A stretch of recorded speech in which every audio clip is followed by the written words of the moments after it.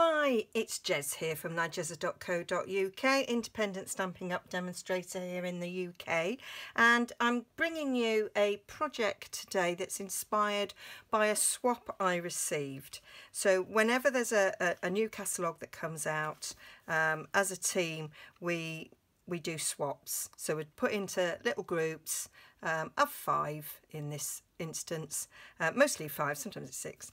Um, and uh, we make something using some of the new products. So these were from the annual catalogue.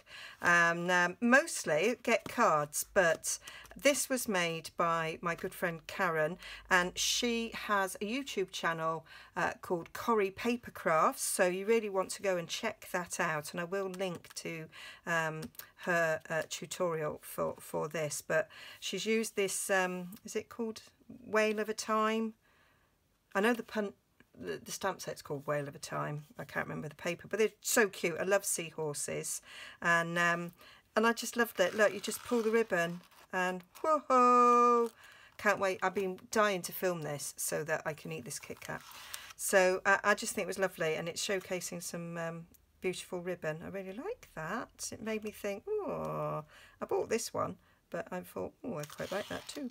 So, um, so yes, so I have, I'm making these for my customer thank yous. So I resized it for, oh, stamp set stuck there, for, for these uh, gorgeous chocolate bars. Um, these are, we get them in Aldi. They're Aldi ones, and um, they are in date. and um, yeah, so I'm um, I've I'm been resized them, so quite a bit smaller um, for for these and so I've been making um, them um, for, for my customers. Now these two um, I've used retired ribbon on um, because this customer, this is her favourite colour. So um, I uh, had to had to do it in that and this is this customer's favourite colour. Um, so, oh, I've put the chocolate bar in the wrong way round. So let's uh, rectify that. It's actually Peekaboo Peach ribbon, but I thought it was close enough. I didn't have any um, of that colour. that, that's just pineapple grove. Uh, no, not um, grapefruit grove. Yeah, grapefruit grove. I didn't have any, but I thought that was close enough. And then I've used the current in colours on on on this one. So that's terracotta tile, and um, and I was experimenting with. Um, stamping. So this one was hand stamped instead of using the, the DSP, um, just to show you an alternative there. Anyway, so I'm making this one in Purple Posy. Um, so the papers, these are the six by six um, papers that we do in the colour families. So you get, if I just bring out So I've used these before. So you get um, in the colour in the in colours because there's only five in colours. You get four sheets um, of each. Um, you get two sheets of each of the colour families that have 10 colours. So they're quite lovely. So you've got the words on one side and wood grain and you've got like this, it's like stone washed denim and the spots and this in all the different colours. So I do love the pretty peacock. Love it, love it. So yeah, so I got I I always buy these because I find them really really useful. I like them. Can't get it back in the bag now. What am I like? So let's get on with the measurements. So it's actually don't need a lot. Um, so I've decided um, I decided to double mat my my DSP um, to just to be different. And um, I'm using um, the pick a, pick a pick a label punch for the for the label. Okay so this is four and a quarter by four no we'll start again. We're four and a half by four and an eighth um, for that and then we're going to do the mats so these are three and five eighths by one and five eighths and these are three and a half by one and a half and then I've got a one inch strip and a three quarter inch strip here to do the, the sentiment on the top. So we need to do some scoring and it's quite quick and simple if you have the scoreboard ready. So on. We need the stylus. It's fallen out. That was a good start Jez. Good start. So on this is the long side the four and a half side. We're going to score at three eighths and two and an eighth two and a half four and a quarter all the measurements will of course be over on my blog nigezza.co.uk and then on this short side we're just going to score at 3 eighths. And that is it. Then we fold and burnish all of these score lines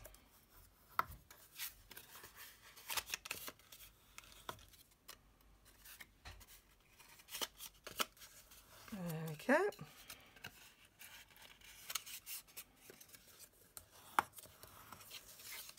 And the one at the bottom. And then I am going to stick the layers on now just because I think it's easier. So I'm just going to go around this one. Got a bit of a lip on. So I'm going to flatten that out. Must have turned the paper over whilst I was cutting. They're all right. Uh, so I'm just going to... Oh, I've got my new Stampin' Seal. So this Stampin' Seal I'm going to show you compared to snail. So I think I mentioned before that they were bigger. So that's snail and that's Stampin' Seal. So they are quite a bit bigger. And I was going to compare it to the fast fuse. And although it's similar at the front it's got a longer tail there. And it's really I like it. It's really easy to hold. Feels nice in your hand. Um, and I have um, rheumatoid arthritis in my hand so I actually prefer bigger to hold than, than little. So that's why I like fast fuse and that's got similar feel in your hand with it. So yeah, so I'm doing paper to cardstock. So I do, the only thing I find is getting the cap off is quite hard. So I'm going to use it. So put a bit at each end and then just cut the bits in the middle, stick it down. Do it before I used to always use tape runners, always. Oh. Have I got a bit of time? No, not really, it's stuck. oh well, I was going to move that a little bit, but it does. This is Stampin' Seal, not the Stampin' Seal Plus, but I don't think you need to do the tick. I just so used to fast fuse. It's no harm done, is it? Right, let's try and be a little bit careful here with this.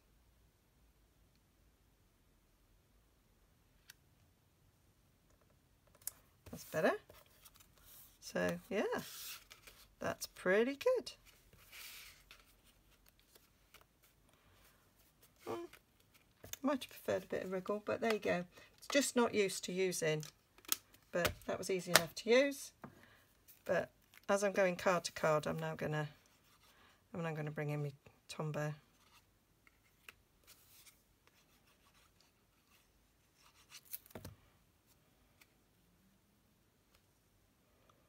So stick it down. I haven't given this huge margin because it's a small project. I do like having a smaller,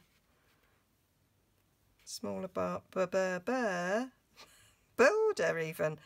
Um, you know, matting. I do prefer it when it's smaller, that it's not quite so so big and then we're just going to do our little bit of snipping so this one's slightly shorter than that one so this is the one that's sticking down so we're going to take our little rectangle off there. There we go. Don't know what I did there. Get it off. And then we'll just snip a bit there. And then we're going to go up these straight lines. And then we'll just notch in these little bits here. And that's that.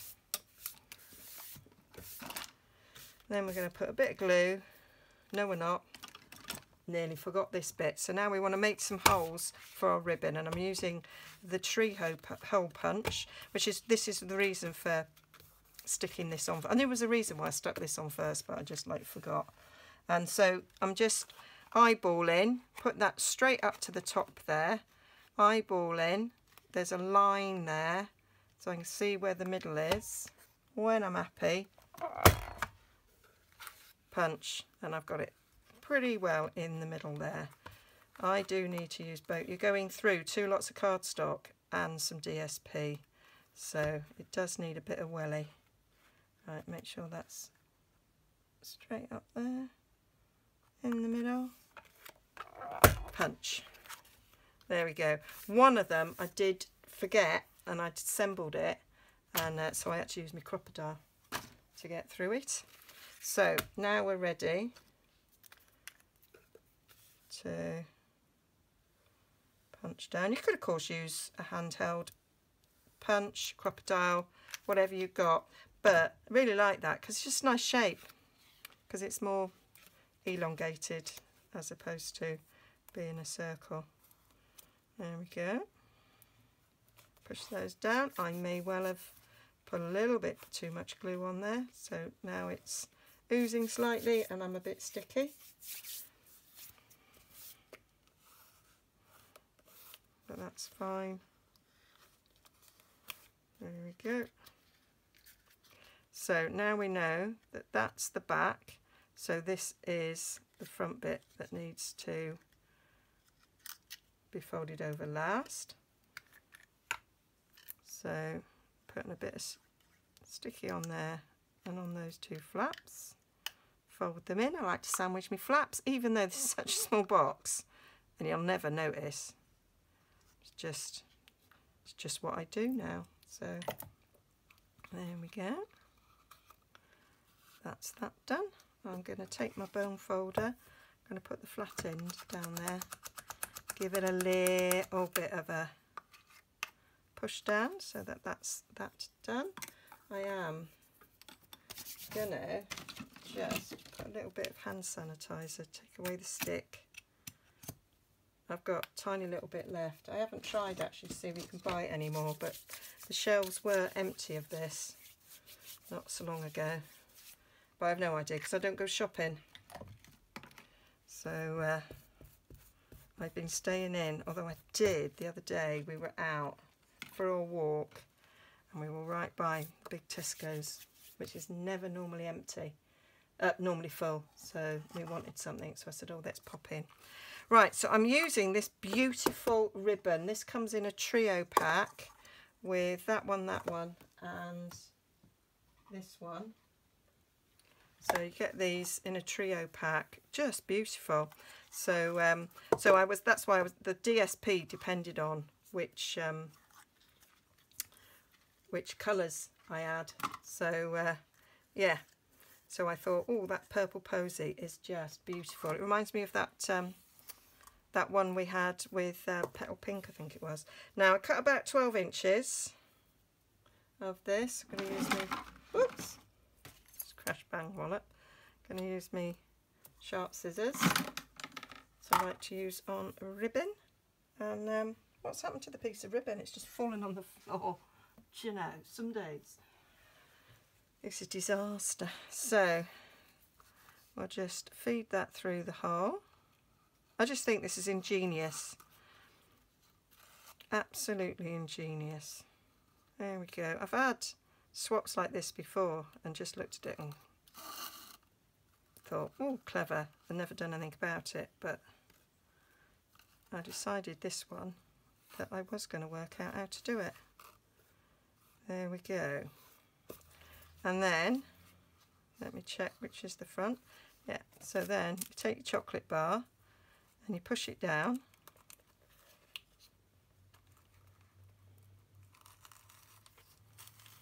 It pushes the ribbon down with it. There we go. And then when you pull, pulls it up. How cool's that? And then another bit of ribbon to um, to tie it off. And what I'm using is the white seam binding ribbon and I have used the lightest Highland Heather blend and it's it's a nice it's a nice slightly darker shade of um, purple posy. And um, so it's um, it's really nice. I was having a bit of a battle there. You might have heard. So there we go. And then we're just going to tie a little bow around here. Get them even this is where it could potentially go piton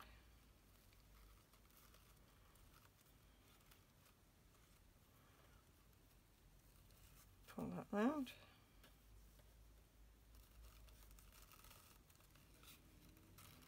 So I'm doing my knot in 90 degrees to how I want my bow to fall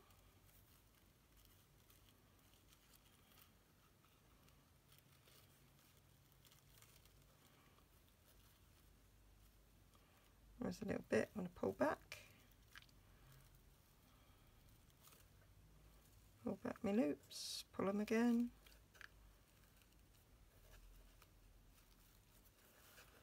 Faff, faff, faff until we get it right.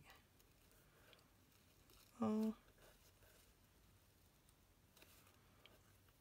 bit more.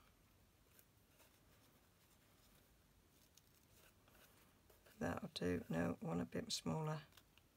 I've got more tail on this side than that side but I'm not undoing it. I'll just snip it and make it slightly smaller. That'll do. Lovely. Right let's like so. Right so I want that's going that way that's going to go that way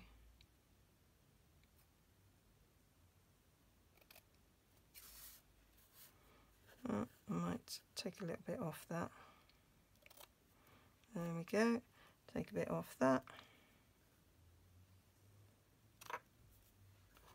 There we are. So that's that's that. And then we just need uh, a little greeting. And what I'm using for the greeting is this lovely set. Oh, it's backwards. This lovely set here, the four season floral. This is in the beginner's brochure um, which um, has got a couple of stamp sets in there that aren't in the main uh, catalogue. And uh, I really like that little thank you. I mean, I love all of these um, sayings and these lovely little flowers. I thought, well, we've got Christmas there, haven't we? We've got some nice sort of spring, summer and autumn um, sort of um, flowers. That's why it's the, the four seasons.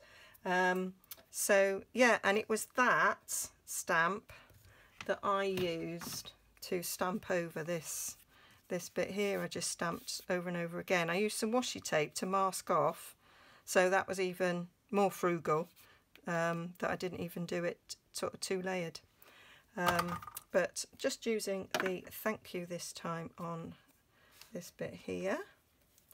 I need to cut these edges are beveled I'm just going to get a little bit of scrap paper because what I'm going to do is, obviously we don't have Purple Posy um, stamp pad. I mean, I do, but they discontinued them because they had problems with the pigments.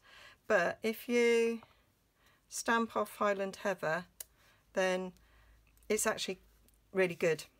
It's a really good substitute for um, Purple Posy.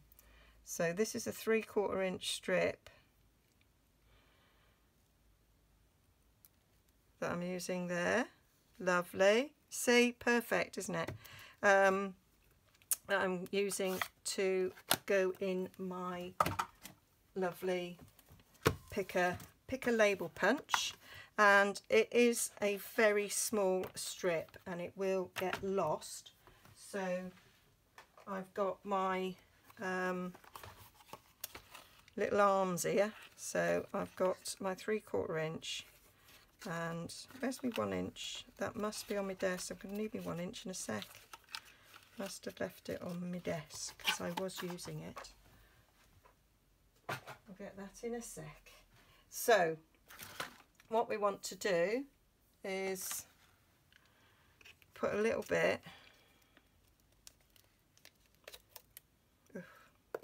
a little bit I might just leave that off to be fair. A little bit of this on there I'm gonna take off some of the sticky. And then what I do is I put it on these are window sheets that I've cut to the different widths.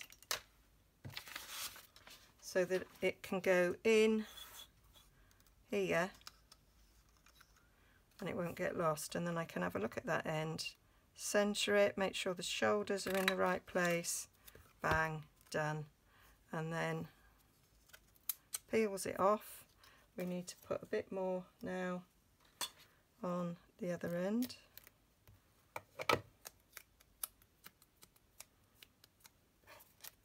Put that on there. Feed it down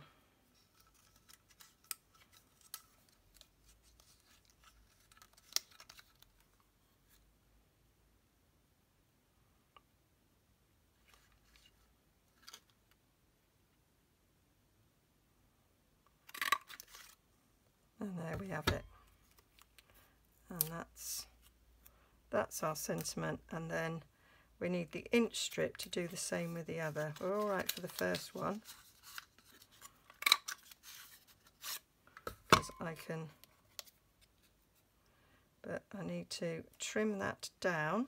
So I've got my little guillotine. And what I want to do is what I do is I look at it and I want to that's about an eighth and then I want an eighth um, off it. So we want that to be a further quarter of an inch. So let's do the measure there for so we want extra quarter inch. So that's one inch to there and three quarters. So we want this to be one and three quarters. So we'll put this at one and three quarters. Is that right? Yeah, an eight's going to come off. That should be that should be perfect. So what I need is my one inch one of them.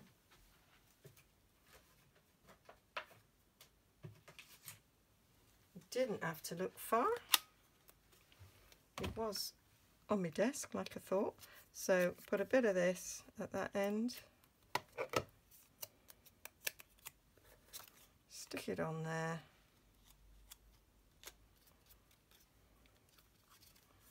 And then stick this in there.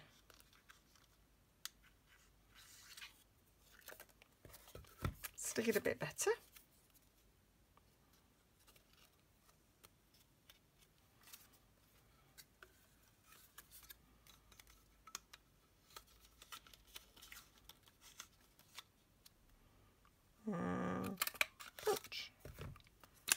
There we go, and then that should marry on there quite nicely. Yep, happy about that. Just gonna iron out those ends.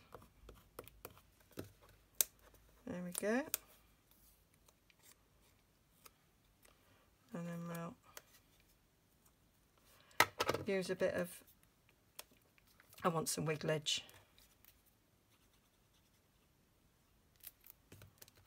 to stick it in the right place.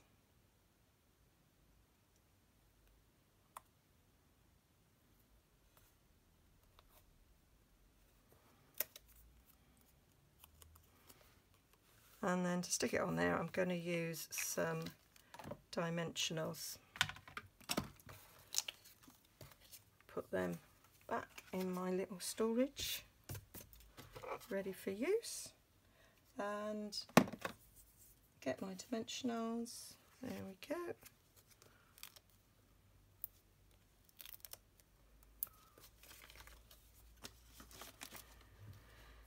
and then these will be sent out with a nice card to say thank you for shopping with me in June. So anybody that shops with me gets a little handmade thank you gift like this. And if they've used my host code, probably would have preferred that up a bit. Can I move it? Yeah. Um, if they've used my host code, they'll also get a share of some free product as well. And then just to finish off, I'll put a couple of pearls on. So I've used the light Highland Heather um, again to um, colour these pearls. And then going to stick them on.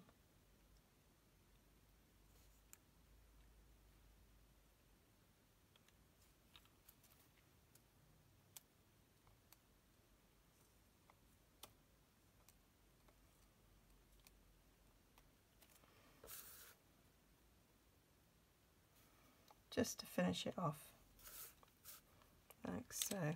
Push that down a little tad. Get it in the place I want it there we go. Oh for goodness sake Jez. There we are. So there we have it. That's them finished. So we've got terracotta tile purple posy Flirty Flamingo, another terracotta tile with hand stamping, and then the Retired Grapefruit Grove, which I say I know that they are favourites of um, two of my customers, so I thought oh, I'd make it in that, and then they've got some ribbon to use afterwards um, as well. Okay, hope you enjoyed that. If you would like to receive a nice handmade gift, then um, do shop with me. Um, links to my shop are down below. Don't forget to use the host code and you'll get a, a free product gift as well. And um, yeah, I look forward to seeing you again. Please like and subscribe and um, go and check out my blog. Okay. And don't forget to check out Corrie Papercraft as well and see what Karen has to offer. She mainly does, um, nearly always actually, um, does 3D um, projects and she does amazing things. So go and watch. And she's got a beautiful Scottish accent, so I could listen to her all day. Okay, bye for now.